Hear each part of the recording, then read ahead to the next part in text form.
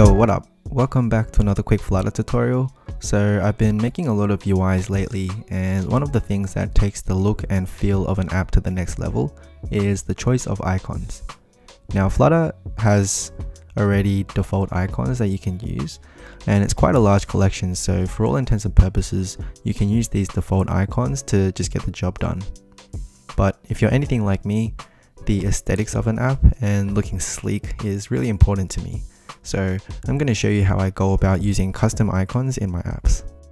Now just to quickly illustrate how you would use the default icons, I've just got here a blank scaffold. Once you start typing icons, you can see the bunch of options that we can use.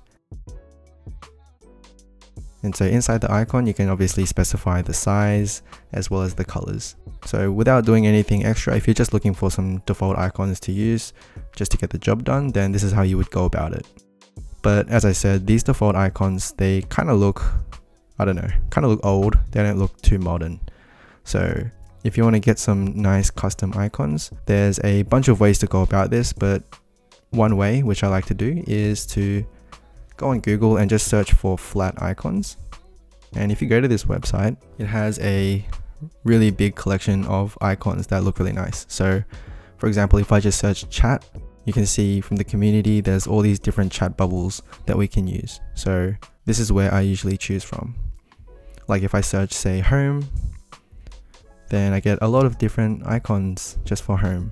And so if I just pick one, let's say I, I like this home icon, I'm going to download it as a PNG. So just as a image and you can see they have a premium subscription to get a lot of other bonuses um, but you can also just do a free download as long as you attribute the person that made the icon. So you can take a look at all this in more detail in your own time.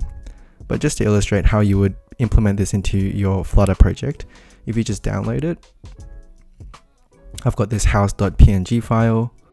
Go to our flutter project and in the library I'm just going to create a new folder called icons. Okay, and let's drag this house.png file into the icons.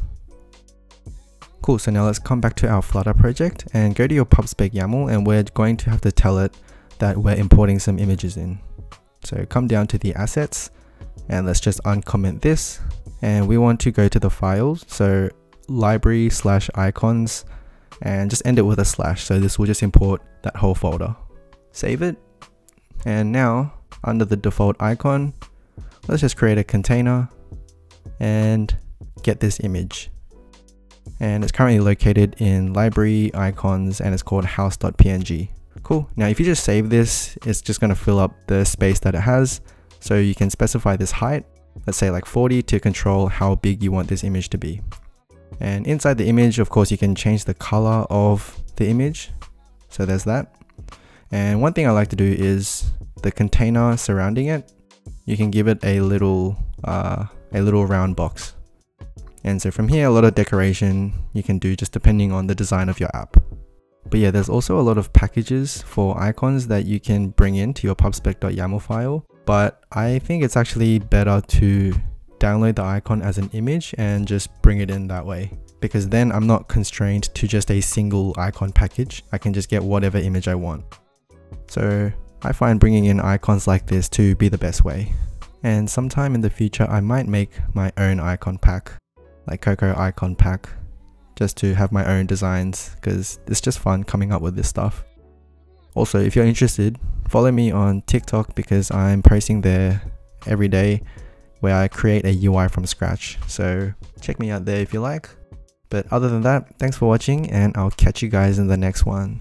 Laters.